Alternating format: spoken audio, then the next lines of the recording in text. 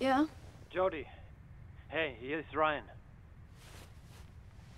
Ryan. Hast du. Hast du meine E-Mail bekommen? W welche E-Mail?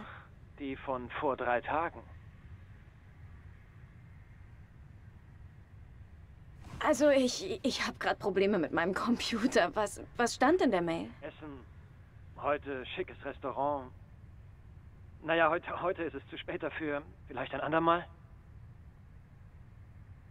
Scheiße. Scheiße, tut mir echt leid. Ich... Warum kommst du nicht einfach nachher zu mir zum Essen? Du, du wolltest doch sowieso mein Apartment mal sehen, also... Äh, klar, aber... Wie wer es so macht? Okay, ja, ich bringe uns einen super Wein mit. Bis später.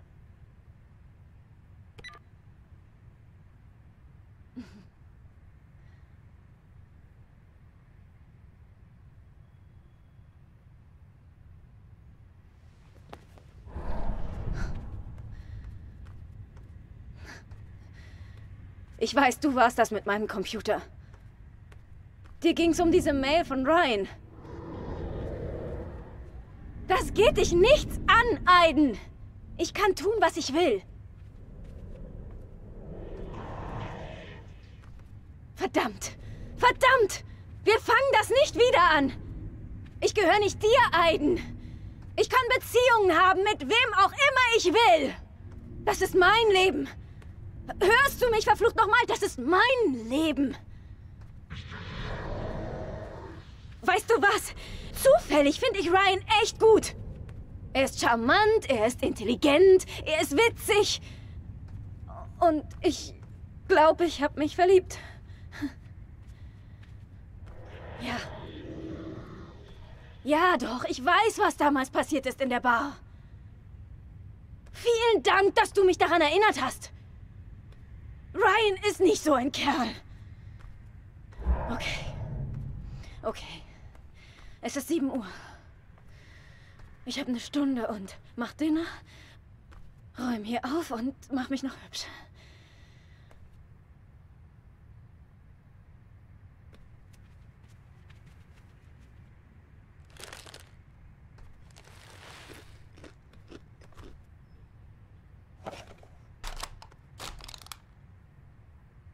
Genau, den Abfall in die Küche.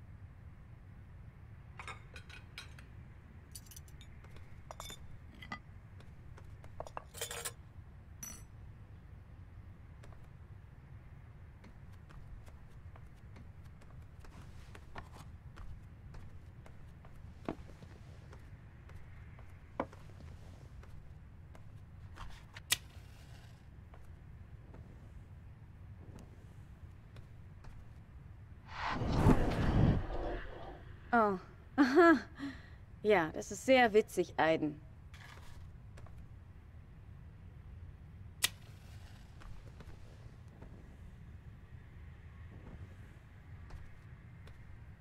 Wow, das ist sehr romantisch.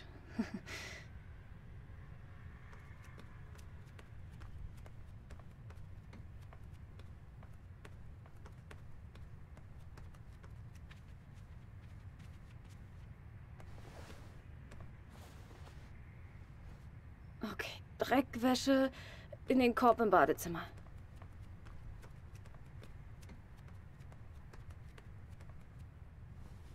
Okay, da.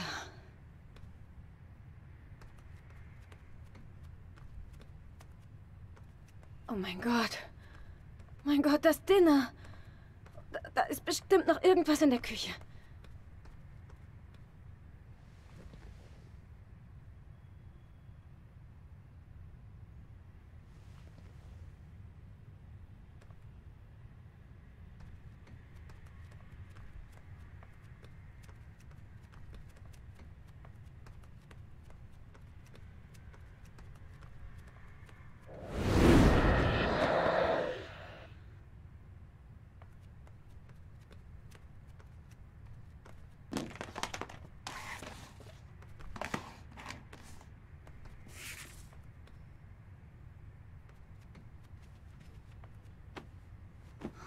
Mann, Aiden, jetzt sei doch nicht so ein Arsch.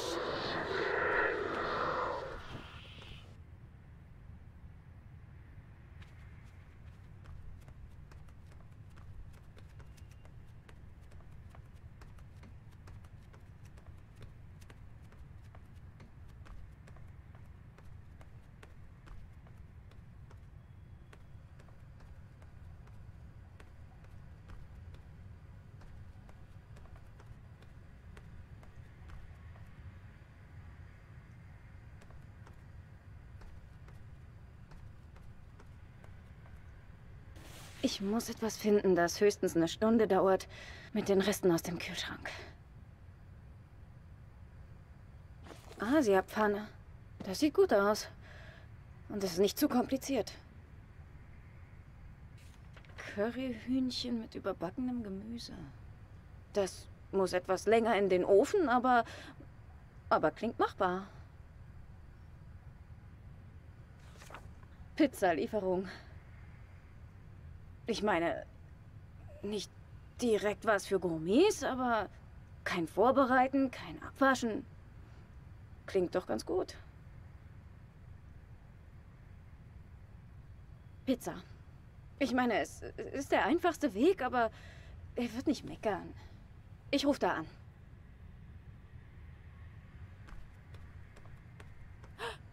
Weißt du, du verschwendest deine Zeit, Aiden. Ich habe heute trotzdem ein Date mit Ryan.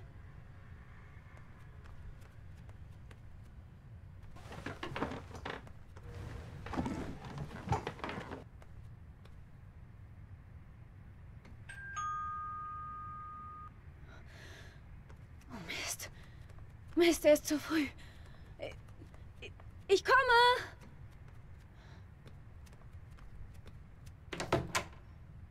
Oh, ich depp. Hab ich Zeit, noch unter die Dusche zu springen?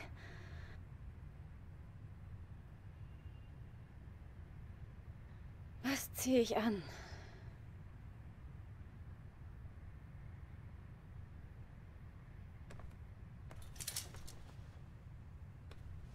Oh, hey Ryan. Ja, ach weißt du, ich hab nur alte Sachen an, weil ich bin cool. Ganz cool.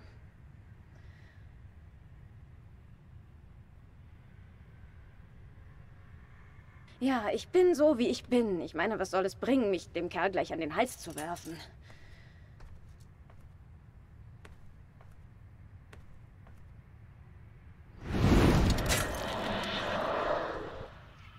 Lass gut sein und gib auf, Aiden. Okay? Das Date wird stattfinden. Basta.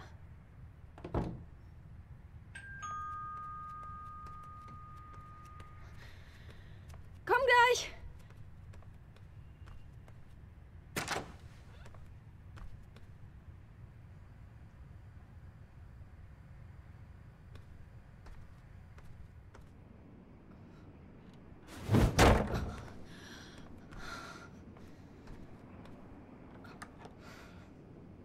Oh, ganz toll, Aiden. Okay, du hast mich. Jetzt öffne die Tür.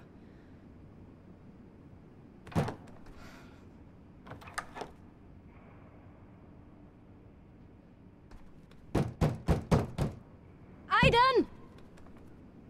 Aiden, komm schon, mach auf!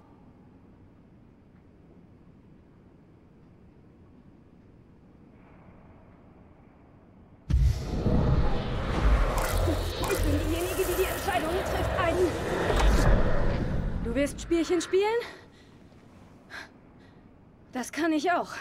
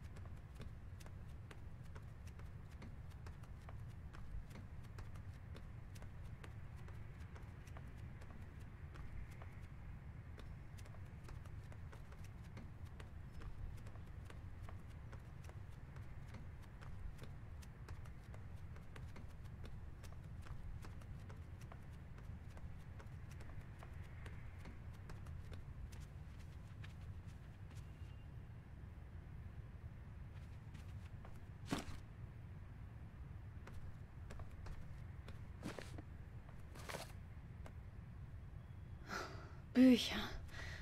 Okay, ins Bücherregal. Okay, toll.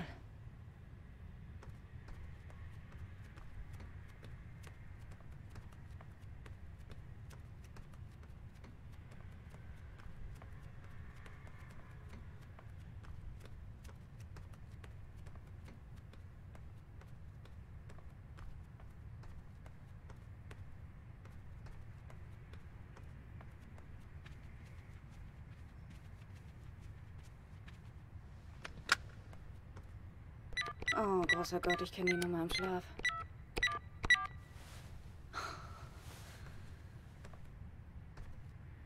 Hey, ja, ähm, ich möchte eine große Pizza.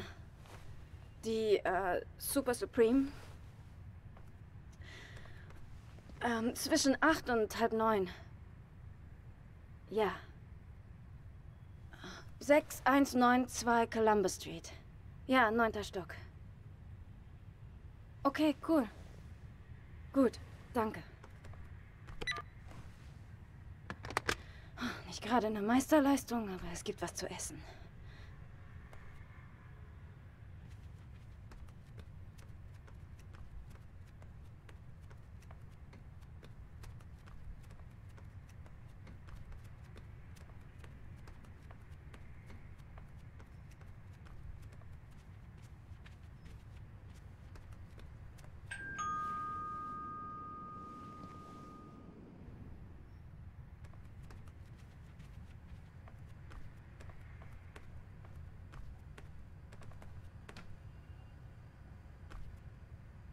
Aiden, benimm dich bitte.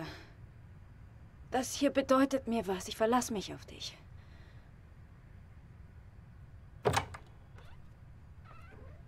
Hey. äh, Chateau Margaux 2001. Der Verkäufer sagt, das war ein hervorragendes Jahr. Das klingt doch nicht übel. Okay. Okay.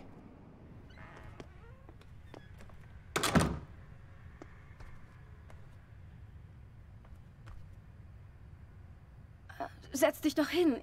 Ich hol das... Das Ding für die Weinflasche.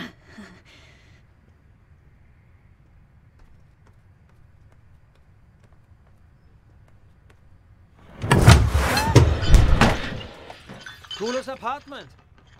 Huh? Ja, danke. Aiden. Verfluchte Scheiße.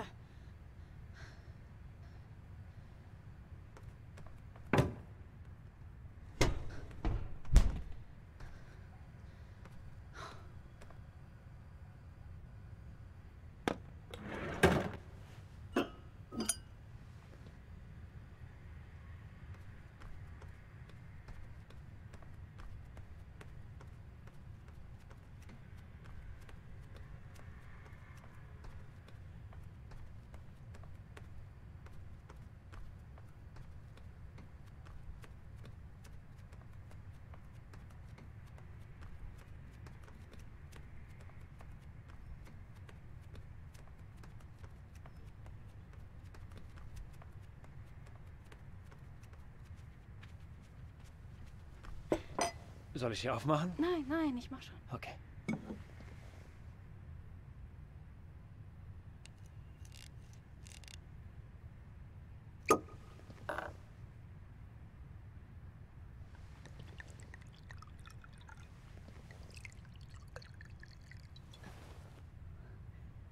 Danke. Auf dein neues Apartment. Auf mein neues Apartment. Bist du eingezogen? Oh, ähm, äh, vor ein paar Wochen. Ja, die Agency hat sie mir besorgt, voll möbliert und... Das ist eigentlich das... Was ist mit dir? Wo wohnst du? Oh, ich habe ein Haus, etwas außerhalb. Ja, klein, aber ich habe einen Garten. Und äh, stammst du von hier? Nein, nein, ich stamme aus Oregon. Meine Eltern und mein Bruder sind immer noch dort. Aber ich bin früh weggezogen, mit 16. 16? Bist du. Bist du zu Hause rausgeflogen oder sowas? Ähm.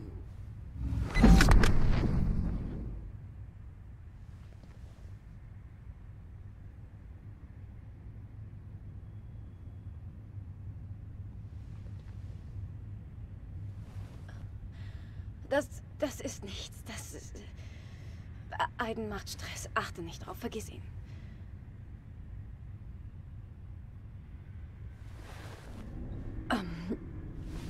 Wie kamst du danach zur CIA? Ich, äh, ich ging aufs College und wusste nicht so recht, was ich wollte. Ich...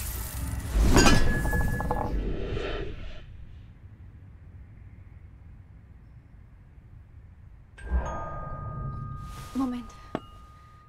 Hey, wie geht's so? Oh, gut. Das stimmt so. Danke. Ich habe Pizza bestellt. Ich hoffe, dass... Nein, Pizza ist gut. Keine Sorge.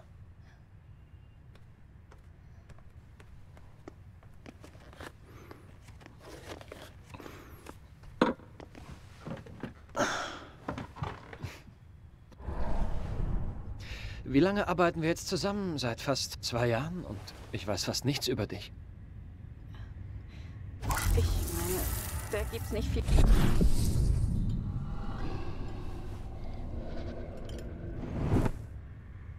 Oh. Ähm, Zugluft.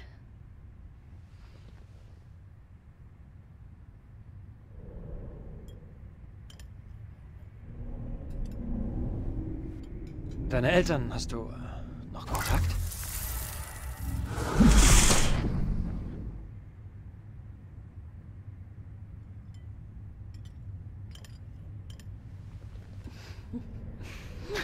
Bist du sicher, dass alles okay ist? Ja, alles ist gut. Aiden ist nur... Er ist nur ein bisschen unruhig. Alles okay, wirklich.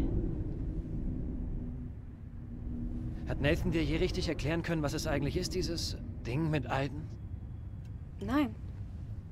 Also nicht richtig. Sie haben viel herausgefunden über die Infrawelt, also. Aber.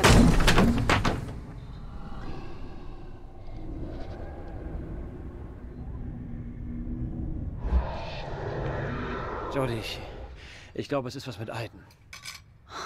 Warte eine Sekunde.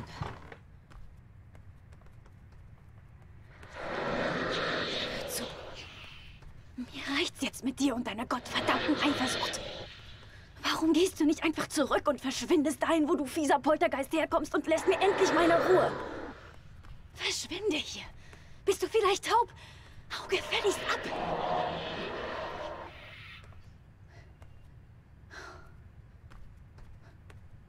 Also, ist er jetzt hier und, und hört uns zu? Ja. Ja, er verlässt mich nie.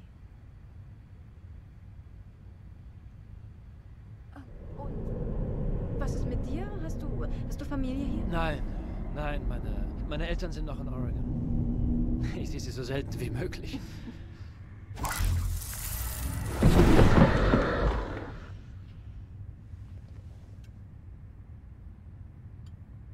Ah, Aiden gefällt es nicht, dass ich hier bin, oder, Wen Jodie? interessiert, was Aiden will? Und du? Hast du jemanden?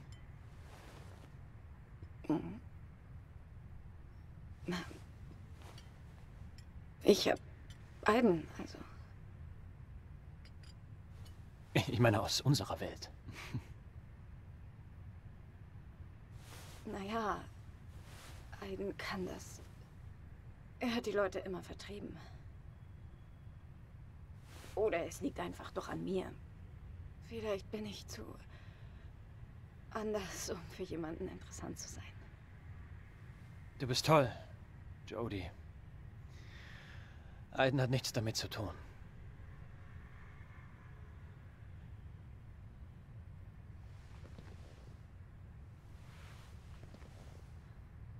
Tut mir leid. Nein, ich, ich dachte, Nein. Nein, es, es ist nicht. Ich, es, es liegt an mir. Ich kann. Ich kann nicht.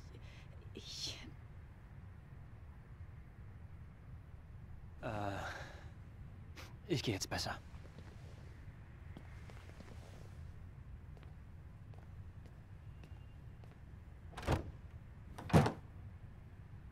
Bist du glücklich, Aiden? Du hast, was du wolltest.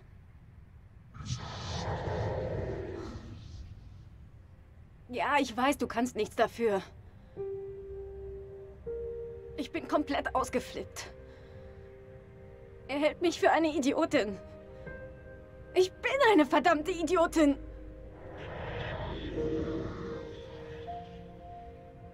Du hattest recht.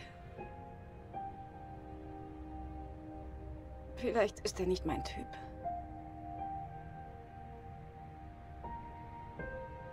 Frage mich, ob es den überhaupt gibt.